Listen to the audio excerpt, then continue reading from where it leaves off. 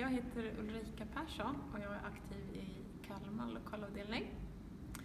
Eh, jag var medlem i Friluftsfrämjandet som barn och som ung och sen gjorde jag som många andra en ganska lång paus och blev aktiv igen eh, som barnledare när mina egna barn var små eh, och startade igång barnverksamhet i Kalmar som då hade legat vilande ganska länge.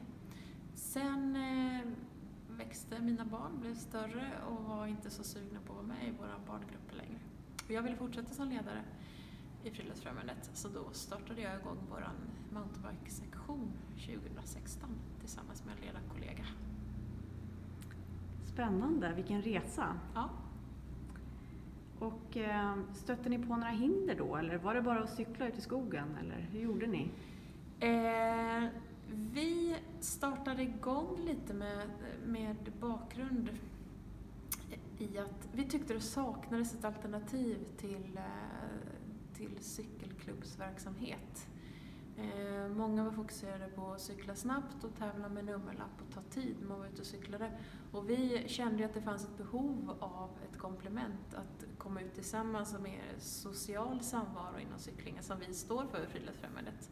Så vi körde igång sakta men säkert Eh, och ägna oss bara åt vuxengrupp till att börja med.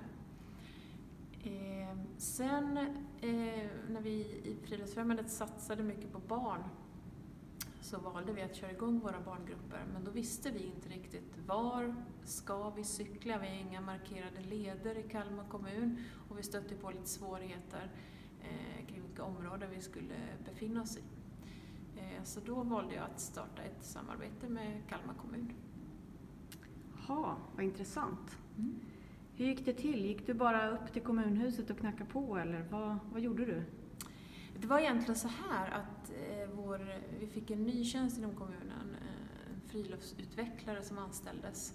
Och hon kontaktade oss faktiskt i första hand för att hon ville, hon ville reka läget lite inom friluftsliv i Kalmar och hur vi kunde kanske samverka och göra saker ihop.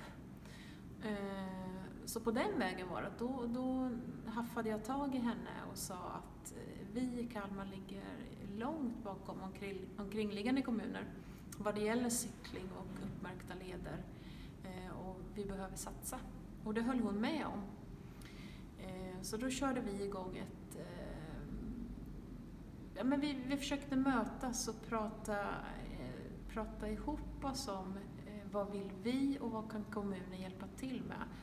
Och såklart stötte vi på hinder vad det gäller pengar, den ekonomiska frågan, för det fanns inga pengar avsatta för mountainbike i Kalmar. Hur löste ni det då? Eh, ja, hur löste vi det?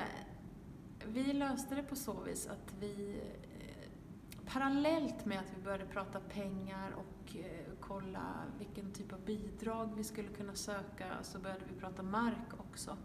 För vi vill ju ha en, en mark att cykla på där vi kan markera stigar. Eh, och där var kommunen ganska snabba med att säga att vi har mark som Friluftsfrämjandet kan få nyttja så då skapade vi ett nyttjanderättsavtal som vi skrev på tre år.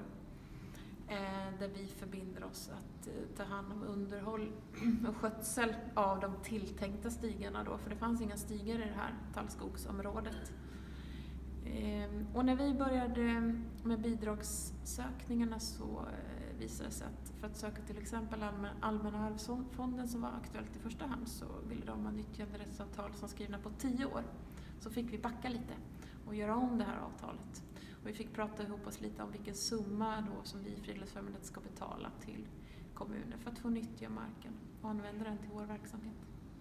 Ehm, men vi kom överens, så vi betalar idag en symbolisk summa per år. Ehm, och sen började vi prata hur ska vi bygga och vad vill vi ha? Mm.